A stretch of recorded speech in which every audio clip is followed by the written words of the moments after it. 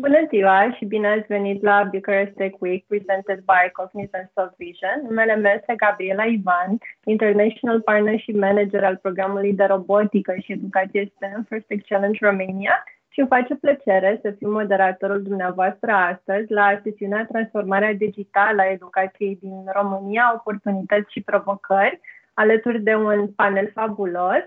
Avem alături pe Raluca Bacinski, stratulat, CEO EasyBack. Back. Bine ai venit, Raluca! Bine v-am găsit, mulțumesc mult pentru invitație! Alexandru Holikov, founder și CEO a Servio. Bine ai venit, Alexandru! Ești pe mute? Bine v-am găsit și mulțumesc mult pentru invitație. Gabriela Bartic, CEO, Director Consumer Division la Brio. Bine ai venit, Gabriela! Bine te-am găsit, Gabriela! Mulțumesc. Și Cosmin Molureanu, CEO Ascendia. Bine ai venit, Cosmin! Salutare, mulțumesc frumos pentru invitație!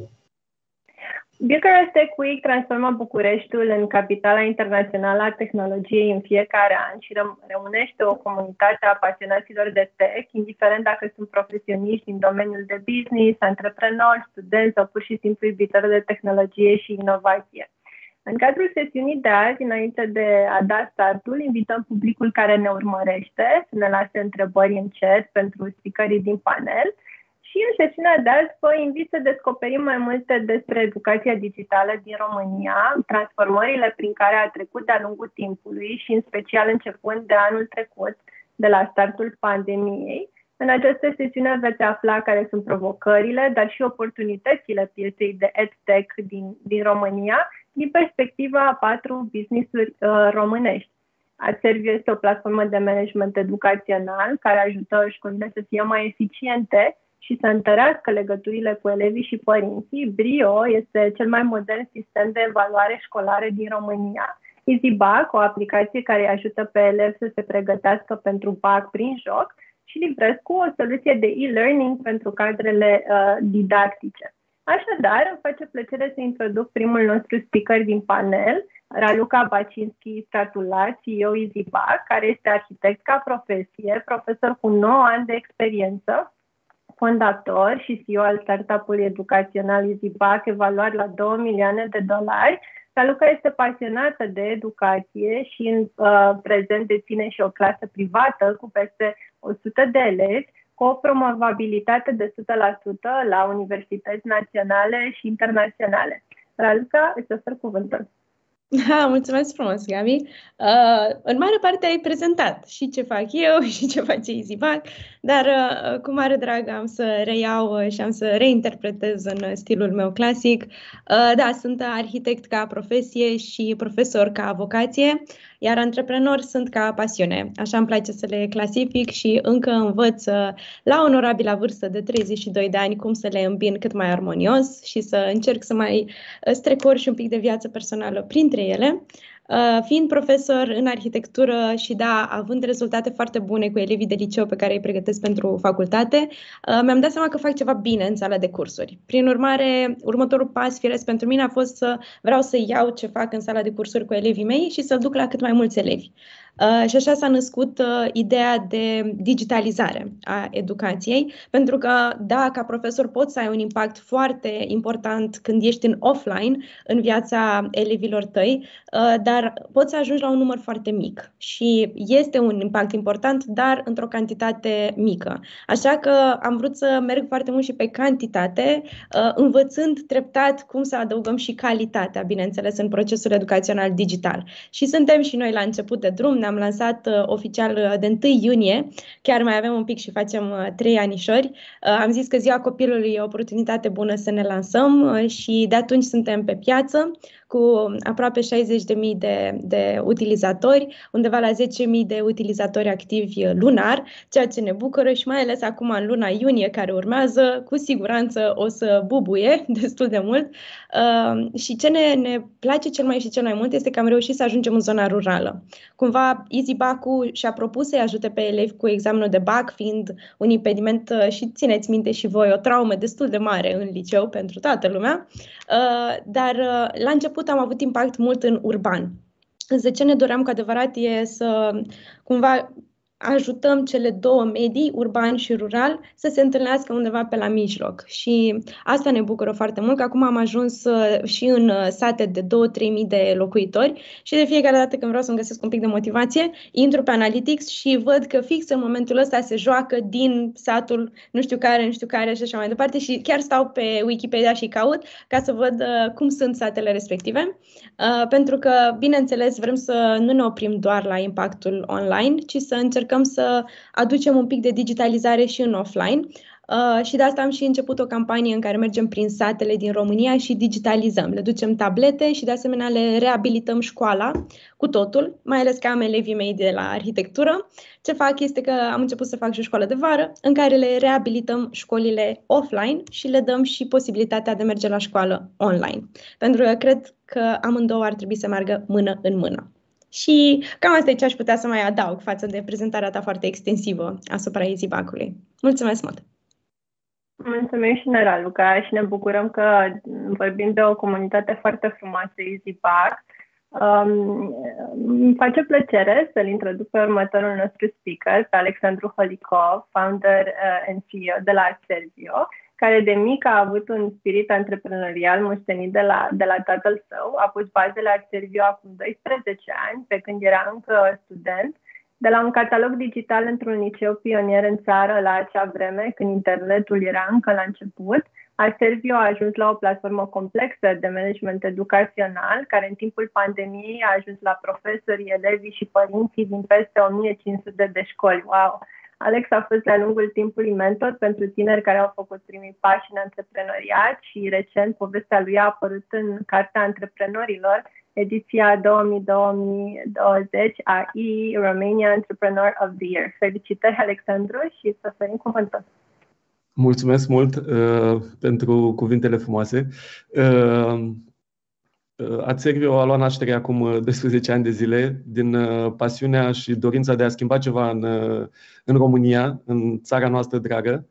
Și na, am și un exemplu, sau mai multe în familie, chiar mama mea este învățătoare, anul acesta este la pensie și mi-a, am putut vedea ce înseamnă și din interior acest sistem educațional, pe lângă ce am trăit ca elev și student în școlile și universitățile din România. Și în 2008 ne-am, ne-am hotărât să, să creăm un catalog uh, digital prin care, uh, în primul rând, elevii și profesorii să aibă parte de internet și tehnologie în sala de curs. Pe atunci nu era tehnologia de acum și a trebuit să creăm o rețea de curent, o rețea de, de internet în toată, în toată școala. Uh, am montat efectiv uh, uh, calculatoare, sisteme uh, pe fiecare catedră conectate la internet cu videoproiector, astfel încât să aducem imaginea și sunetul la ora de curs și pe lângă aceasta aveam platforma Acervio pe atunci la, la început, prin care profesorii puteau aveau acces la catalog, puteau să introducă note absențe, puteau să comunice, aveam o mesagerie și partea de orar pe, pe atunci era, erau dezvoltate. După 12 ani de zile, Adservio este efectiv o școală digitală. Uh, oferim uh, module de la managementul școlii, uh, director, secretariat.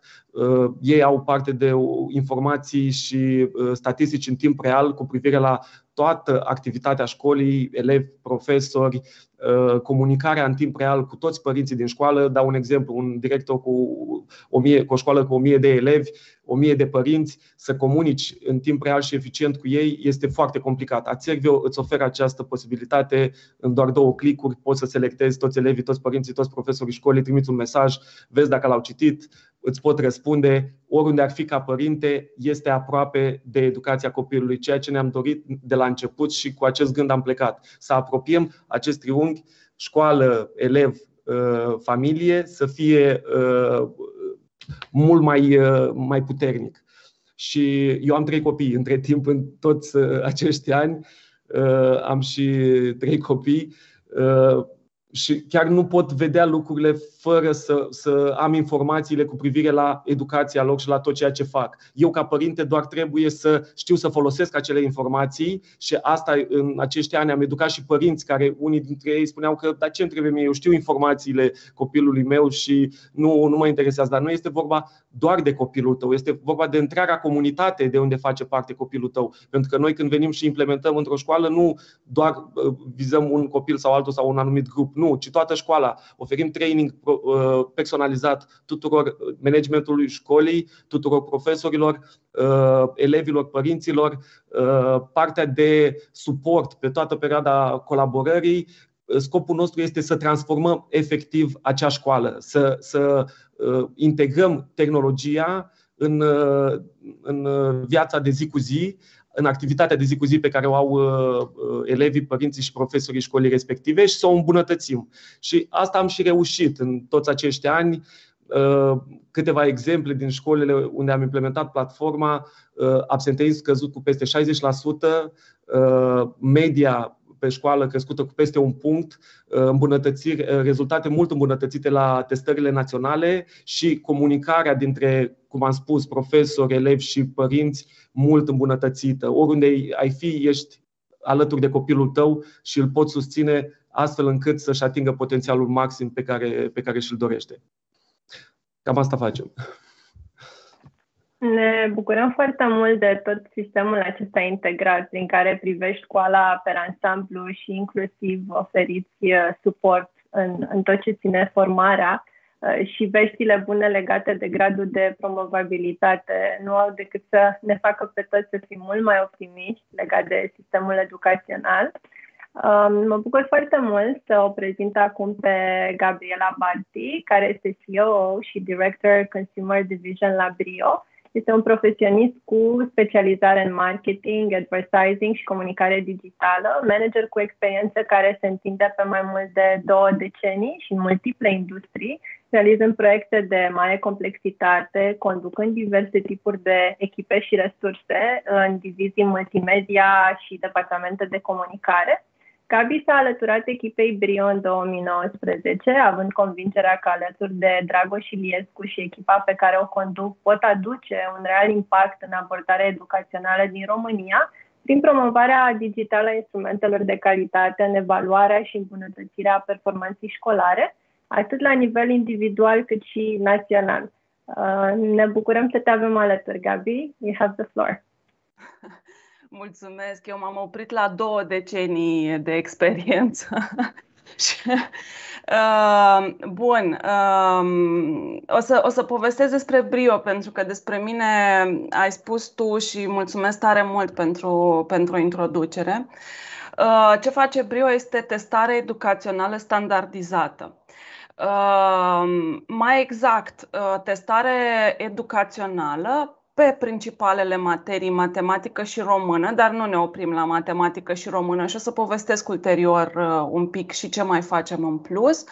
Uh, pe toate clasele de învățământ, de la clasa 1 la clasa a 12 um, ce face Brio și mie îmi place foarte tare să, să folosesc uh, similaritatea asta cu, cu analizele medicale, este un, un raport complet uh, al cunoștințelor uh, elevului în momentul testării pe toate capitolele programei de, ma- de, de matematică și de română pe care ar trebui să le știe în momentul respectiv.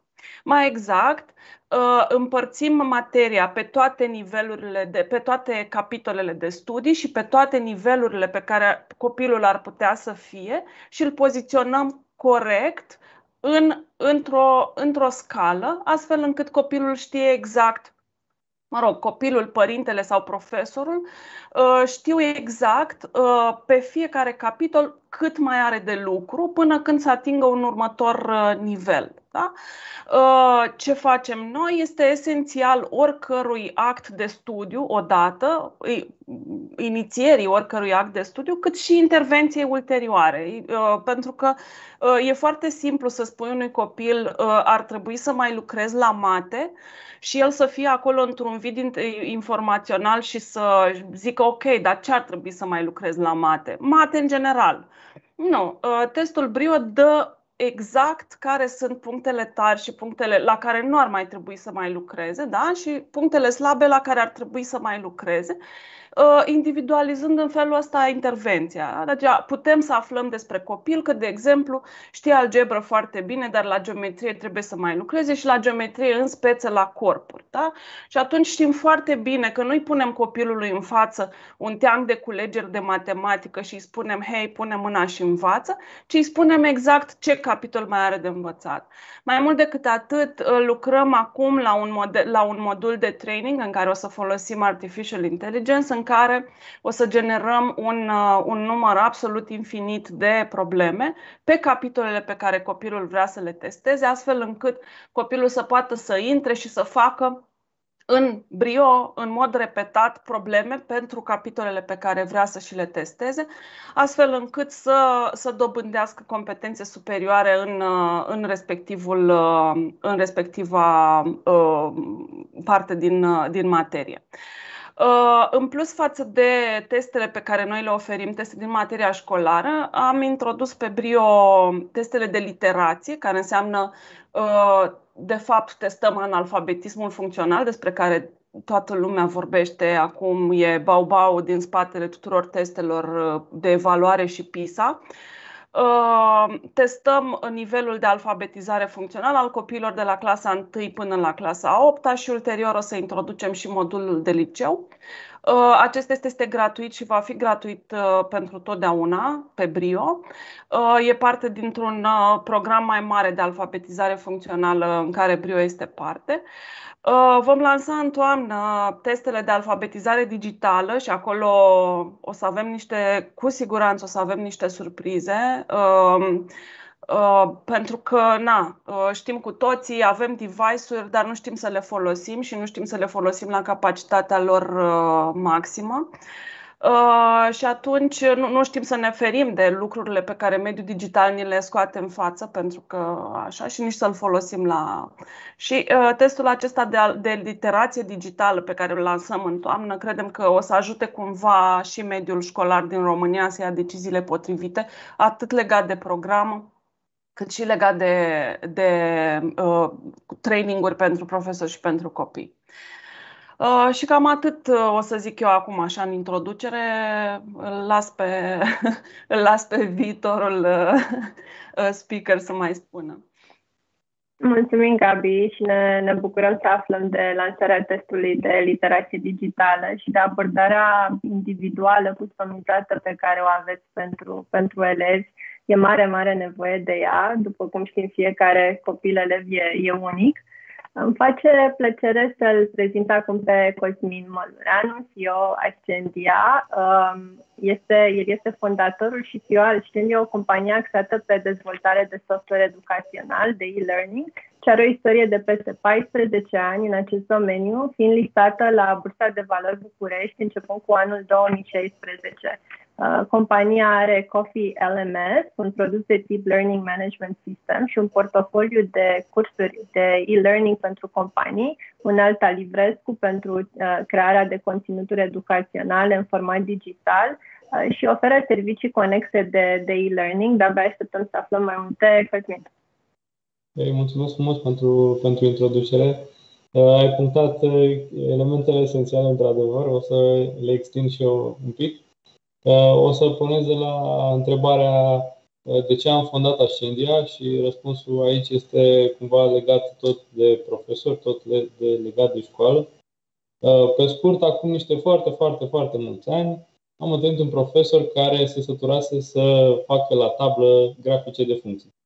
Uh, pur și simplu omul obosise să refacă grafice după grafice după grafice și a întrebat dacă putem face ceva, totuși să le facem pe calculator a apărut calculatoare, erau, nu erau alea cu mă rog, monitorul plat, ci alea mai cu tub catodic sau ce era sufletul acolo. Și, mă rog, de acolo am pornit. Și am, așa am făcut primele, să spunem, module de e-learning, deci pornind de la un profesor.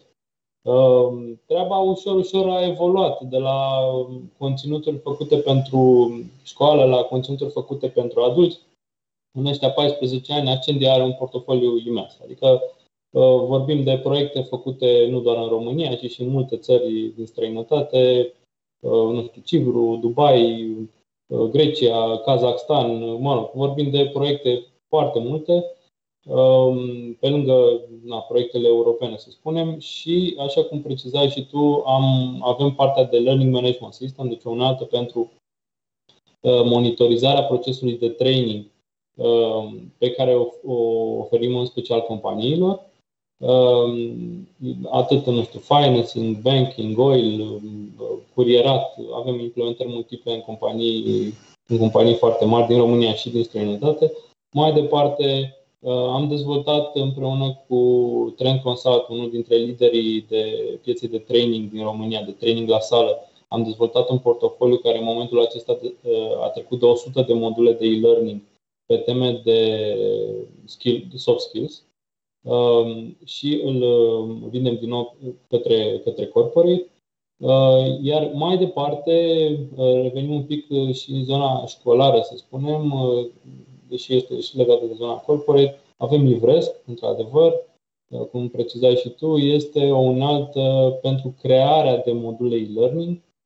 Practic, pentru oricine care dorește să creeze un modul e-learning, dar nu are cunoștință de programare, Livresc ajută. Poți să creezi nu doar, să spunem, prezentări statice, ci prezentări interactive, bogate în multimedia, bogate în în teste, în animații, în tot felul de interacțiuni. Mai departe, poți să adaugi la ele avataruri, deci asistenți educaționali, deci asistenți educaționali care mai departe pot să aibă și ei sunet, atât sunet înregistrat, cât și generat uh, prin servicii de AI pe care le avem integrate cu, uh, cu furnizori mari de tehnologie, cum ar fi Microsoft.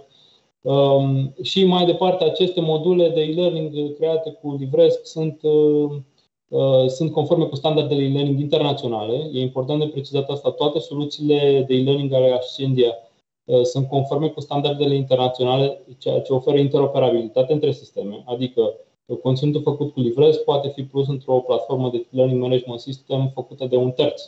Uh, la fel, platforma noastră Learning Management System poate accepta conținut făcut cu alte unelte, unelte tot așa, care și ele produc conținut standardizat. Bun. Deci Așa, pe, pe scurt, na, suntem focusați către, către instrumente uh, moderne. Um, le-am dezvoltat pe parcursul multor ani de cercetare și dezvoltare. Aici doar vreau să precizez că Livresc, uh, pe care l-am lansat în 2019, la sfârșitul anului, l-am lansat după 2 ani de investiții, 2 uh, ani de cercetare, dezvoltare și mă rog, să și vede treaba asta, pentru că în momentul ăsta este folosit de profesori din peste 5400 de școli. Deci într-un an și un pic, un an jumate de la lansare, avem profesori din 5480 ceva de școli, um, avem care produc, deci produc conținut, asta vorbesc doar de zona de teaching pentru, să spunem, școală, dar există și pe, uh, uh, profesioniști din peste 100 de companii care îl folosesc pentru producția de conținut uh, e-learning pentru companii. Uh, ce să zic, uh, putem să povestim mai multe. De Livresc uh, merită spus că are peste 300.000 de accesări lunare. Deci biblioteca, care în momentul acesta conține peste 2800 de lecții digitale interactive, publice și gratuite, făcute de profesori, deci de profesori români și precizez, și moldoveni, sunt vorbesc de cele de limba română, deci are, are un număr, este cel mai mare, cea mai mare bibliotecă de conținut din România. Deci cam așa pot să spun și eu pe scurt uh, istoria produselor noastre. Urmează să povestim sau dacă sunt alte întrebări, aș fi foarte happy to reply. Da. Mulțumim foarte mult, Cosmin. E bucurător să știm că ați integrat atât de bine modulele de e-learning și pentru companii cât și pentru școli Vorbim de un întreg ecosistem uh, pe care fiecare dintre invitații noștri de aici uh, îl adresează din diverse unghiuri. Um, mă bucur să deschid sesiunea de discuții din panelul nostru pornind de la, de la câteva întrebări. Așteptăm și uh, pe cei care ne urmăresc online să ne lase în chat întrebările lor. Uh, pentru, pentru speakerii noștri lansez o întrebare. Uh, cum arată educația digitală în România acum, uh, la un an de la startul pandemiei și de la apariția acestei nevoi acute în, de învățământ online.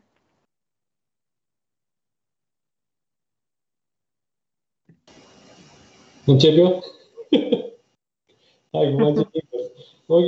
Um, bun. Păi, um, pe scurt, noi vedem lucrurile așa. Uh, am evoluat într-un an de zile cât, uh, cât am fi evoluat în vreo 5-7 ani în condiții normale. Uh, deci uh, s-a aplicat principiul orice șut în fund e un pas înainte. Acest șut în fund uh, a fost dat de pandemie, iar sistemul educațional românesc, vorbesc acum în special de zona de, de public, da, nu de companii, um, a reacționat ca urmare a unei nevoi. Deci nevoia i-a împins către, către folosirea mijloacelor TIC în educație. Um, deși spun că am avansat 5 ani, totuși noi considerăm că suntem la nivel, să spunem, preșcolar sau cel mult de clasa 1 în ceea ce privește înțelegerea și folosirea mijloacelor TIC în educație. Adică nivelul momentan este foarte scăzut. Um, s-a încercat, uh, s-au încercat vari instrumente, fiecare a învățat, a făcut cum a putut, cu ce a putut, dar suntem departe de o înțelegere a uh, ce înseamnă digitalul în educație. Vorbesc aici în principiu de uh, de, mă rog să spunem, de atingerea unui nivel de tip, nu știu, mă rog să zicem, măcar B sau C în ceea ce privește nivelul de competență digitală. Există un cadru european pentru competențe digitale al profesori, pentru profesori și aici, mă rog, sunt niște nivele, cum este la limba străină, că știi, este A1, A2, B1, B2, în funcție de, ok, așa există, există un astfel de cadru și pentru competențele digitale ale profesorilor. Um, Consider că suntem deocamdată la A1, A2, cel mult, ca nivel de țară, pentru că nu se înțelege, nu, nu se înțelege, nu se face diferența foarte mult între unelte. Vă spuneam, am avansat, am deschis, să spunem, direcția de, și este bine, fiindcă important este să înțelegi, să simți gustul măcar la, la început, apoi prin încurajare, prin experimentare se poate avansa, se poate înțelege și folosi din ce în ce mai mult tehnologia, însă suntem la început. Asta pe zona, să spunem, uh, publică. În zona uh, companiilor, lucrul, e-learning-ul nu este nou. E-learning-ul a atins un nivel de, profi, de proficiency, de profesionalizare foarte ridicată pentru companii, uh, deși în pandemie foarte mult la început au redus consumul de e-learning.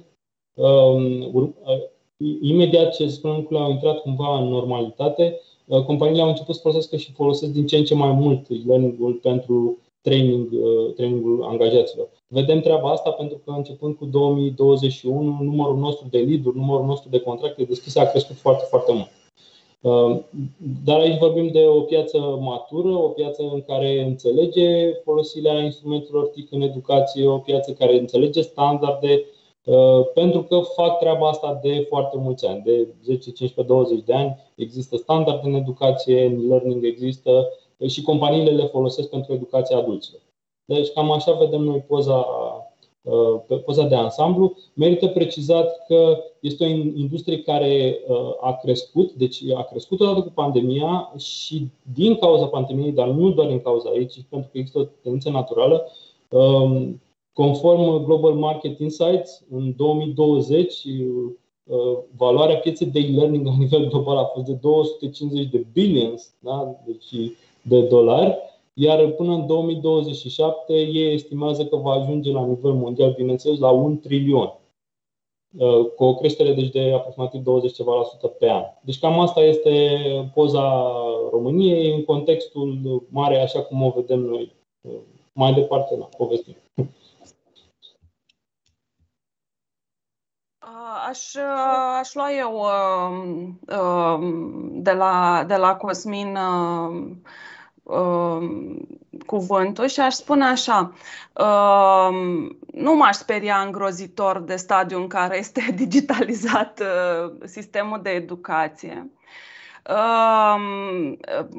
Deși sunt, uh, mă rog, reprezint o companie de tehnologie, o să spun întotdeauna că Educația trebuie făcută mix și trebuie educația față către față va fi întotdeauna cea care va câștiga mai mult decât, decât digitalul.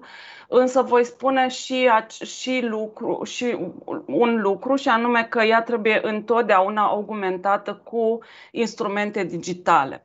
Uh, și atunci o să spun că da, ne trebuie, ne trebuie niște cadre în care uh, copiii, profesorii și de ce nu și părinții să știe să folosească unelte digitale și să le integreze în procesul educațional. Uh, dar că, uh, uh, dar că asta se fac în timp și că în nicio piață din Europa, din lume, lucrul ăsta nu s-a întâmplat peste noapte și în niciun caz într-un an de zile. Așa cum, mă rog, probabil că naiv am fi sperat noi, cei din EdTech, anul trecut. Uh, însă, anul acesta pandemic, uh, cred, este cel mai mare pas în față pe care, uh, pe care l-am făcut.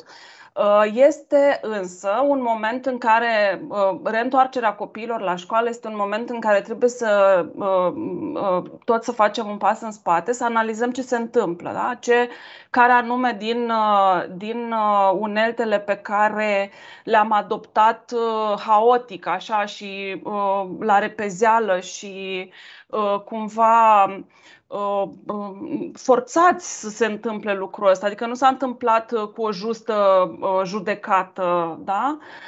Și trebuie, trebuie să ne dăm seama care sunt bune, care ne sunt utile, care se suprapun unele peste celelalte, care uh, au validitate științifică și care nu au, pentru că uh, cel puțin uh, am, am văzut enorm de multe tool enorm de multe inițiative digitale uh, Uh, care aveau uh, niște selling point-uri senzaționale, dar care erau golite de conținut uh, intrând în ele și care au fost adoptate pentru că au fost adoptate, pentru că nu era niciun alta pe piață. Deci, ce spun eu este așa, uh, suntem într-o stare, așa cum zice Cosmin, AA uh, plus ceva. Uh, o să aflăm, aș zice, după ce facem primul research extensiv, după ce lansăm o literație digitală, că suntem acolo, probabil, sau poate puțin mai sus. Însă e momentul, acesta este momentul în care toată piața de edtech ar trebui să stea la masă cu decidenții din, uh, din învățământ și să, și să uh, nască, să creeze programe în care uh, digitalul să fie integrat științific și serios în procesul educațional. Da. Hai. Hai. E ok, bine, Alex, mersi mult. Uh, da, pandemia cu siguranță poate să fie un factor catalizator pentru schimbare, scoțând în evidență zone de tensiuni în diverse sectoare. Uh, cu siguranță și în educație ne-am dat seama și mai ales în EdTech. Uh, a devenit clar că e nevoie de o digitalizare a sectorului. Și în acest sens, pandemia a fost un factor de accelerare a procesului de digitalizare. Îl percep și din perspectiva de profesor, îl percep și din perspectiva de antreprenor în edtech. Uh, deci, din ambele puncte de vedere, și ca profesor am fost nevoită să trec totul în online, Uh, chiar în prezent, fix acum, as we speak, am și un curs în online cu copii, concomitent, deci îmi permite să fac mai multe lucruri uh, în același timp, uh, dar a fost o tranziție dificilă, uh, cel puțin din perspectiva unui profesor care, vorba aia, este și literate în ceea ce privește digitalul și nu numai că e literate, dar uh, și susține digitalizarea educației și chiar și așa mi-a fost greu să trec procesul educațional în uh, mediul uh, digital. Deci, cu siguranță avem multe obstacole și un drum lung în față, pentru că, așa cum am menționat și, uh, și speakerii de dinainte, Cosmin și cu, cu Gabi, uh, da, am fost uh, nevoiți să atragem foarte multe soluții uh, și le-am luat cantitativ. Și aia, și aia, și aia, și aia. Uh, și acum e foarte fain că sperăm să vină și decidenții la masă. Ar fi cazul să începem să le selectăm calitativ, să vedem uh, ce impact creează cu adevărat, ce conținut aduc cu adevărat la masă uh, și odată ce sunt selectați și ar fi minunat să existe un top de companii în uh, sfera digitală, să fie și susținute, să se creeze un cadru în care să existe mai multă susținere, atât din partea uh, guvernului cât și ce sesizez eu și în interiorul comunității. Am început să ne susținem unii pe alții, ne-am dat seama că nu suntem chiar atât de mulți precum credeam, cei care avem inițiative în sectorul acesta și ce constat cu mare, mare drag și plăcere este că am început să, să colaborăm și să ne întrajutorăm reciproc. Doar că ce ar fi minunat este să existe și uh, sprijin din afară. Uh, și da, dacă privim la nivel uh, macro, la nivel global, sectorul tech e în plină expansiune și în Uniunea Europeană sunt din ce în ce mai multe fonduri, din ce în ce mai multe posibilități. Uh, și la nivel mondial. Între 2014 și 2018 s-a investit un miliard uh, de dolari în companiile tech, uh, cu o creștere de 62% față de anii anteriori. Deci, clar, validează piața din Uniunea Europeană, dar există mult spațiu pentru, pentru a crește, pentru că multe alte sectoare beneficiază comparativ cu cel puțin 50% mai mult la nivel bugetar.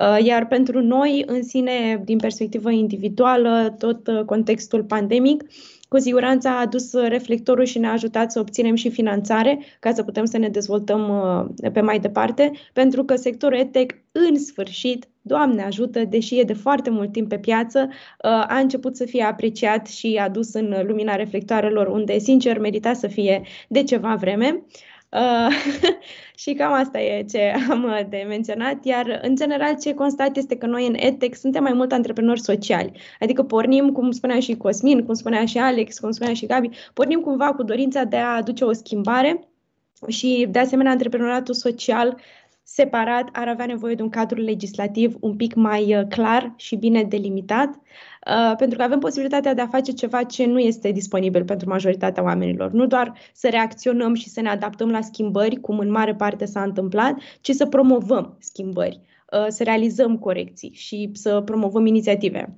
Uh, și în acest sens este un privilegiu normativ de a contribui la formarea unui viitor, uh, iar privilegiul ăsta ar fi minunat să vină mână în mână și cu un cadru legislativ mai uh, dezvoltat. Da.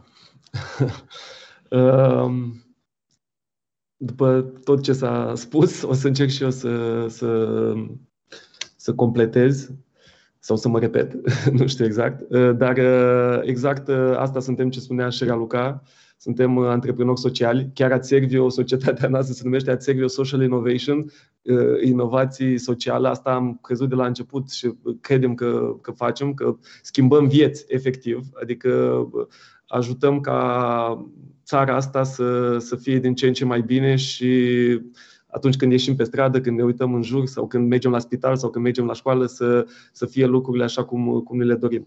Pentru a Servio, pandemia, na, noi cumva mulți spuneau că noi ne-am rugat ca să vină pandemia, dar 12 ani de zile de când am bătut la toate ușile școlilor, la toate toți miniștrii care au fost în acești ani să, să facem pași în direcția de digitalizare, Uh, toate ușile sau majoritatea s-au închis uh, fără răspuns. Uh, și noi aveam o comunitate la începutul anului 2020, după 12 ani de activitate, undeva la 230 de unități școlare, undeva la 280.000 de useri în, în platformă. În momentul în care s-au închis școlile, luna martie, Uh, în, și solicitări în cei 12 ani, solicitări de la școli către noi, dacă au fost 5, dacă au fost 5 numărate pe restul, au fost uh, după uh, vizitele noastre acolo, întâlniri, traininguri și o grămadă de discuții până să implementăm, uh, să implementăm platforma. Având în vedere cadrul legislativ, nu, nu există nicio normă care să ne susțină și să ne ajute să facem performanță. Noi vrem să facem performanță, dar din păcate ajungi să faci performanță în alte țări și apoi realizează și cei de aici că, da, uite, i aveam aici de atâția ani și nu am făcut absolut nimic. Și în luna martie în, am lansat uh, campania, bine, în condițiile în care uh, autoritățile au susținut doar uh, companii globale și companiile românești nu au fost susținute mai deloc. Uh, am lansat o campanie uh, Școala rămâne deschisă uh, și împreună cu Telecom am oferit gratuit acces la platforma Servio până la sfârșitul anului 2020 și internet 4G pentru elevi și profesori. În prima zi am avut peste 100 de cereri de la, de la școli, iar în, într-o lună de zile am depășit 1500 de școli care foloseau platforma. Am atins pragul de un milion de useri în, în România.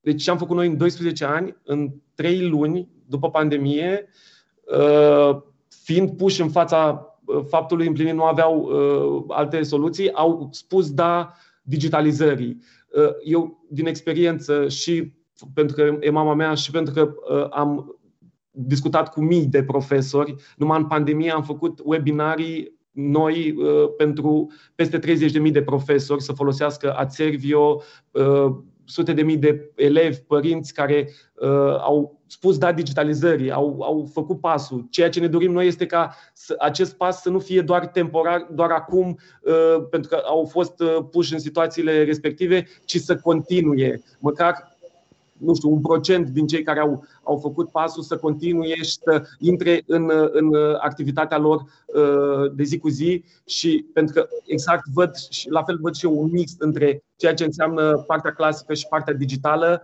trebuie combinate și nu ai cum să, să, fii, să fascinezi copiii din ziua de astăzi dacă nu învin tehnologia cu harul profesorului și cu uh, ceea ce, ce știe el mai bine să facă. Dar orice profesor în momentul de față, părerea mea că trebuie să fie un profesor digital, să aibă skill-uri digitale, că ești de chimie, de engleză, de franceză, de matematică, trebuie să ai uh, minimum de skill-uri digitale, să știi să folosești uh, un laptop, să folosești o tabletă, să folosești un videoproiector, să comunici cu, cu elevii pe, pe limba lor.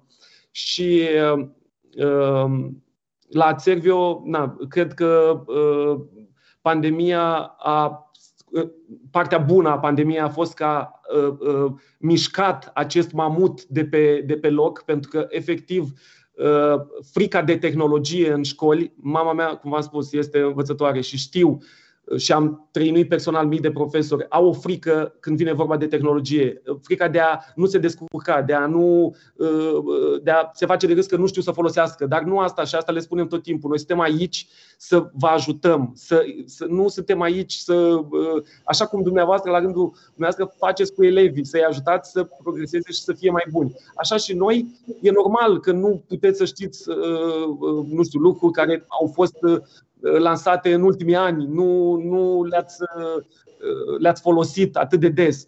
Dar lăsați, aveți deschiderea și din experiență spun că nu contează vârsta deloc. Contează doar mentalitatea și deschiderea de a nu te opri să înveți. Nu știu, un mare om spunea că atunci când te oprești să înveți, te oprești din a trăi. Și nu, nu poți să, să, mai ales ca profesor, când ai un un rol foarte important în societate, clădești societatea efectiv, nu ai cum să spui nu când vine vorba să, să înveți lucruri noi și să fii model în fața copiilor uh, din, uh, din școală. Și pentru mine, cei care au spus da digitalizării înainte de pandemie sunt eroi, sunt uh, uh, profesori, directori uh, uh, care au au simțit cu mult înainte de pandemie, cu 12 ani unii dintre ei, că aceasta este direcția. Și cu siguranță s-a văzut și în momentul pandemiei. Școlile care foloseau Acervio în trei zile erau full and running pe platformă online, nu aveau nicio problemă, iar uh, toți cei care nu erau digitalizați au trebuit să, să fie pe repede înainte, să învețe anumite lucruri. Vă dați seama, s-au, s-au întâmplat lucrurile uh, mult mai rapid decât uh, ar trebui în mod normal. Dar cred că s-a format o mică bază, o direcție bună în care să, să, să putem să construim și dacă avem și sprijinul autorităților, așa cum se întâmplă în alte țări, dau un exemplu Franța, uh, uh, companiile din Franța de EdTech, din uh, de acolo au primit finanțare din partea statului, un milion sau două milioane de, de dolari pe, de euro pe perioada pandemiei pentru susținerea pe care ei au făcut-o. Noi, Ațervio, în 2020 am susținut școlile din România cu peste 2,5 milioane de euro în servicii oferite, în uh, licențele oferite gratuit tuturor școlilor din, din România. Uh, dar uh, mai departe nu știu, sprijinul autorităților nu, nu l-am uh, văzut momentan. Dar îl așteptăm cu, cu mare drag și sper să, să se întâmple.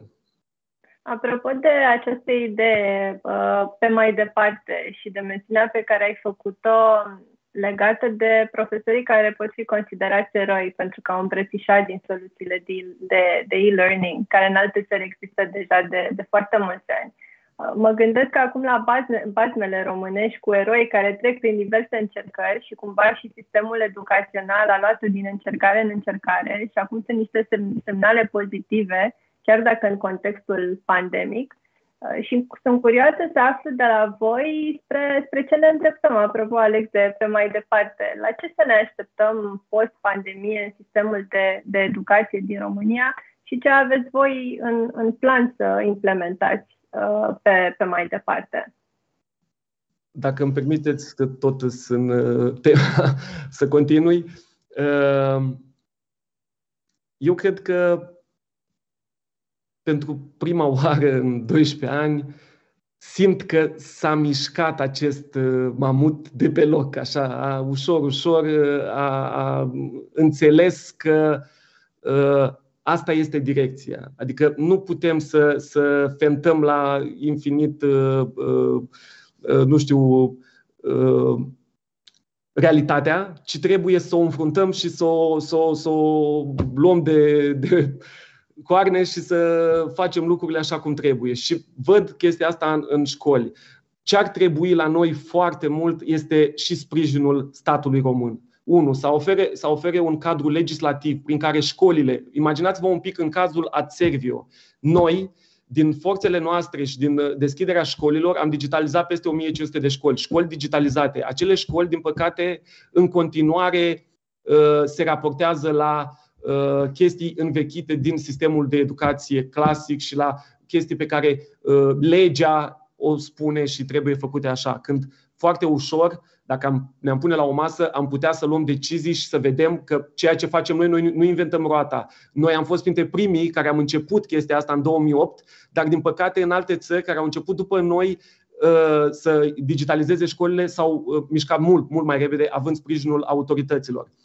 Uh, cu siguranță, dacă ne-am pune la masă cu toții, am găsit soluții astfel încât scopul unui sistem de educație este ca profesorii să vină la job și să fie profesori pregătiți și uh, uh, foarte bine uh, ancorați în, în ceea ce se întâmplă acum în lume, nu acum 50 de ani sau 100 de ani, și uh, elevi și părinți Uh, care să se fie mulțumiți de sistemul de educație, să fie, uh, ei sunt beneficiarii, să, să, să, să fie mulțumiți de, de ceea ce, ce le oferă acest sistem de educație. Și cred că ăsta trebuie să fie obiectivul, să avem profesori bine pregătiți și să le oferim toate uneltele pe care ei uh, pot să le, să le folosească pentru a oferi uh, un uh, sistem de educație și să fascineze elevii la clasă, Uh, managementul școlii să fie uh, foarte bine pregătiți în a manageria o școală. Am văzut școli în alte țări unde uh, efectiv directorii, managerii școlilor sunt manageri, au cursuri de management, știu ce înseamnă să conduci o, o școală astfel încât părinții și elevii din școala respectivă să fie mulțumiți de serviciile oferite și să caute și să recomande uh, acea școală pe viitor. Pentru că ăsta e scopul, să ai elevi, să poți să, să, să, să-ți faci jobul. Și în același timp, să. Uh, deci, cred că asta, cadrul legislativ, este foarte important. Să avem deschiderea ceea ce se întâmplă în alte țări, la noi încă stagnează. Cu toate că avem, eu zic, companii de edtech care în scurt timp uh, vor arăta, vor arăta uh, chestii foarte interesante la nivel global, nu doar în România. Și uh, ar fi păcat ca, așa se întâmplă la noi de obicei, nu reușești în țara ta, reușești în altă țară și apoi te cheamă și aici, că ia uite, s-au, s-au deschis ochii. Și pe lângă acest cadru legislativ, cred că trebuie să, să fie un pic și uh, uh, um, Uh, această descentralizare a școlilor, astfel încât să poată fi susținute nu doar de Ministerul Educației și numai la, la nivel central, ci și autoritățile locale să se implice în dezvoltarea școlilor din, din zona lor. Un exemplu aș avea este uh, municipiul Buzău, care pentru noi este uh, un exemplu demn de urmat Uh, acolo primăria în 2017 am început împreună cu primăria Buzău un proiect pilot în șapte unități școlare, cele mai deschise, care au vrut să, să facă pasul spre digitalizare. În 2018 l-am uh, extins în toate școlile și liceile din municipiul Buzău și în momentul de față tot municipiul este uh, digitalizat. În momentul în care a venit pandemia, a doua zi s-a continuat școala în mod, în mod normal și cred că asta este exemplu să uh, cei implicați, directori, profesori, părinți din școlile unde uh, sunt copiii lor, să aibă curajul să adopte soluții, să implementeze uh, soluții noi pentru ca copiii lor și comunitatea lor să se dezvolte nemai așteptând să vină Ministerul Educației să facă nu știu ce pentru ei. Trebuie să, să, să ne punem pe treabă. Intervin un moment pentru, cu o propunere pentru speakerii noștri în partea de final în cele aproximativ 7-8 minute pe care le avem. Uh, vă propun să lăsăm așa un mesaj de final în care uh, să vorbim și despre ce se întâmplă post-pandemie și uh, um, cumva gândurile voastre legate de, uh, de ce doriți să, să dezvoltați pe viitor. Propun fiecare speaker aproximativ două, două minute. Uh, hai că o să încep eu. Eu o să spun așa, eu probabil că o să, o să fiu complet uh, ieșită din, uh, din uh, linia discursului de până acum. Și o să spun așa, niciun antreprenor nu ar trebui să pornească un business gândindu-se la ajutor de la stat, pentru că cred că niciunul dintre noi n-am pornit businessurile pe care le-am pornit gândindu-ne că, hei, uite, Uh, vreau să uh, mă transform într-o semicompanie de stat, să mă ajute statul să. Sigur că uh, statul trebuie să ne ofere un, un sprijin legislativ, dar cred că trebuie să pornim de la faptul că utilizatorii trebuie să înțeleagă valoarea adăugată pe care produsele noastre o, o, o pun peste actul educațional uh, pe care îl oferă statul inevitabil, că așa și trebuie. Uh, și pentru asta trebuie, trebuie o, o educație în această direcție. Da? Trebuie să, trebuie să uh, oamenii trebuie să înțeleagă valoarea produselor noastre. Da? Și asta înseamnă, când spun oameni, mă refer la elevi, la profesori, la școli, la părinți care trebuie să înțeleagă că ceea ce facem noi nu este o concurență la stat și că, uh, da, pentru servicii serioase și uh, ca și în sănătate, ca și oriunde în altă parte, da, ca și în oricare alt uh, sistem, trebuie să plătească. Uh, Brio nu, uh, nu așteaptă, sau mă rog, uh, Brio stă foarte puțin în, uh, în decizie politică. Uh, cred că foarte important pentru noi în dezvoltarea viitoare este într-adevăr un cadru legislativ corect pentru companiile de EdTech.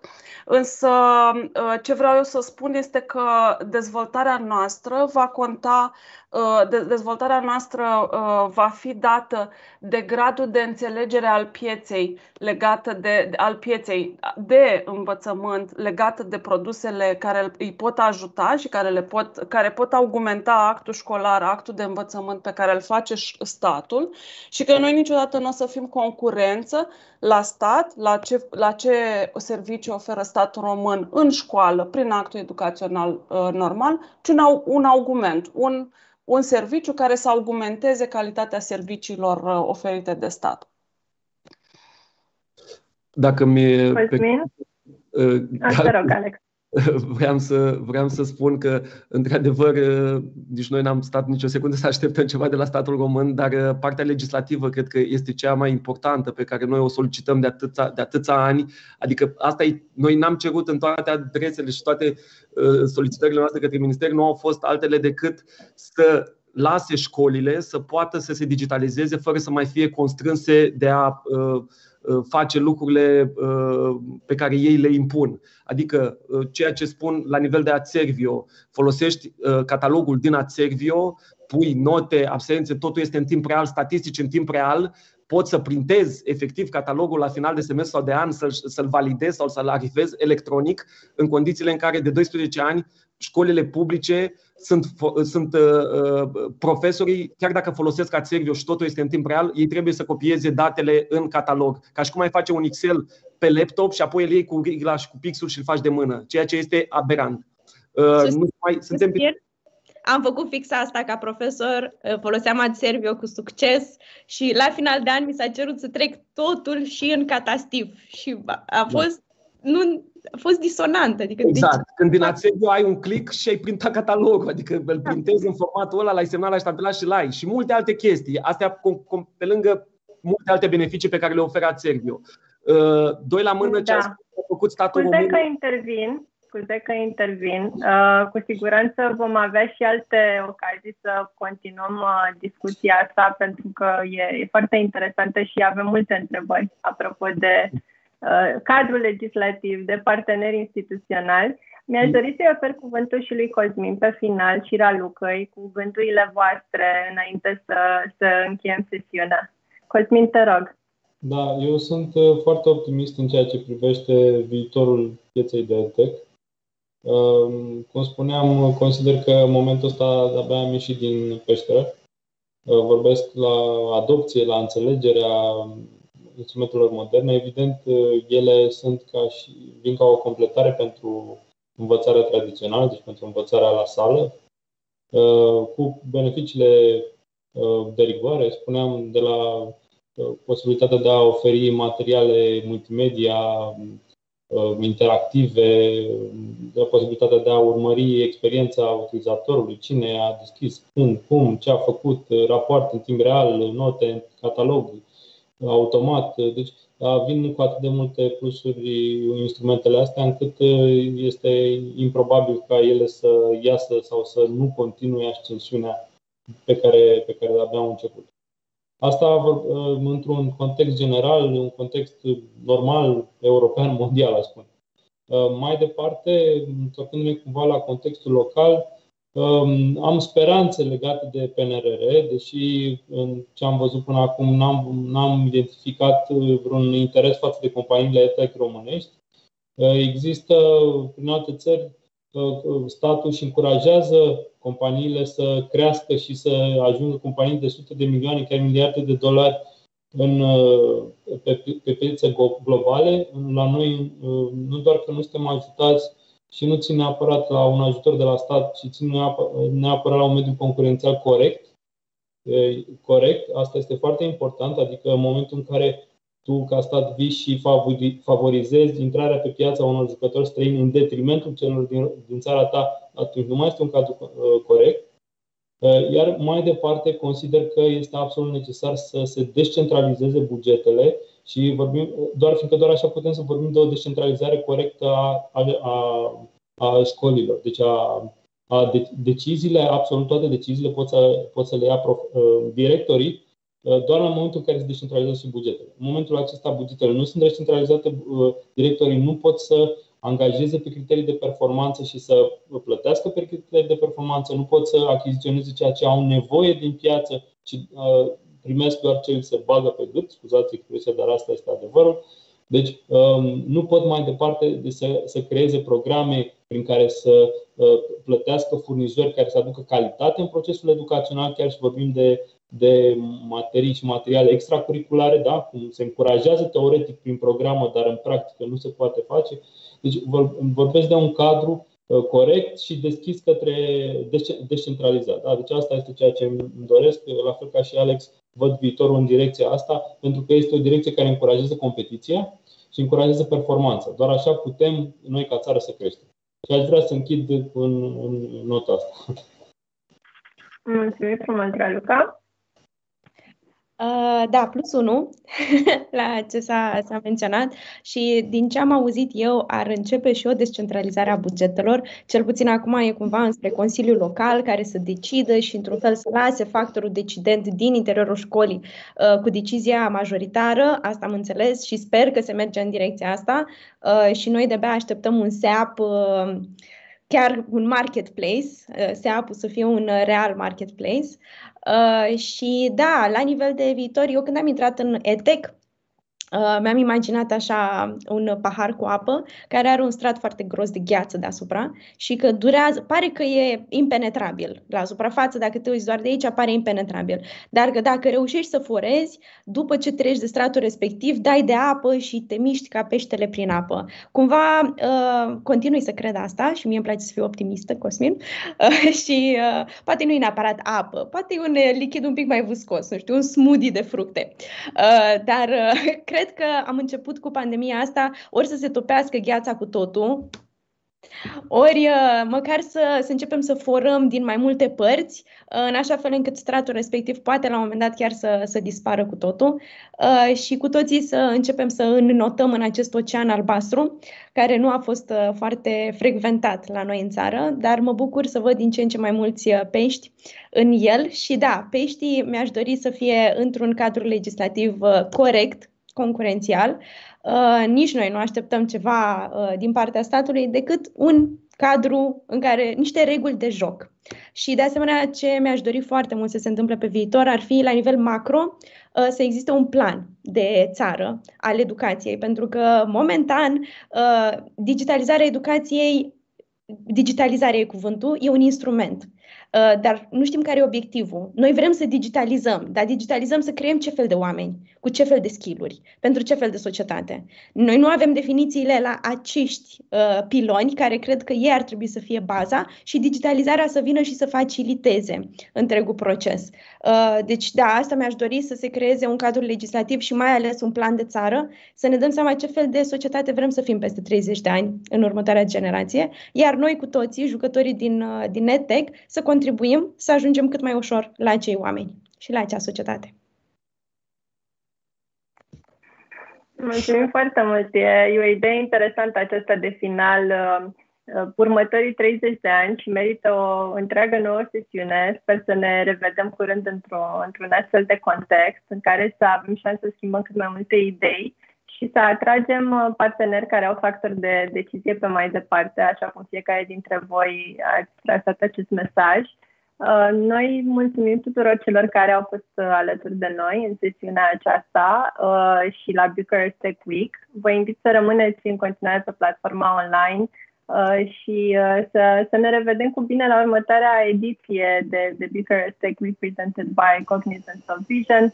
O duminică frumoasă vă urez în continuare. La revedere! Mulțumim! Mulțumim mult! Ciao!